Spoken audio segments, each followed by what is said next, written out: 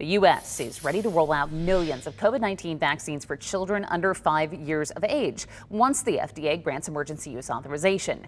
The FDA's Vaccine Advisory Committee is going to meet next week to go over trial data and to make a recommendation on whether the vaccine would be appropriate for young kids. The CDC would then have to sign off. The CDC says 10 million doses of the Pfizer vaccine will be available and ready to go. A fourth COVID 19 vaccine could also hit the market soon. Doctors say that it takes a more traditional approach to fighting the virus. KMBC 9's Alan Shope explains how this new one is more like a flu shot.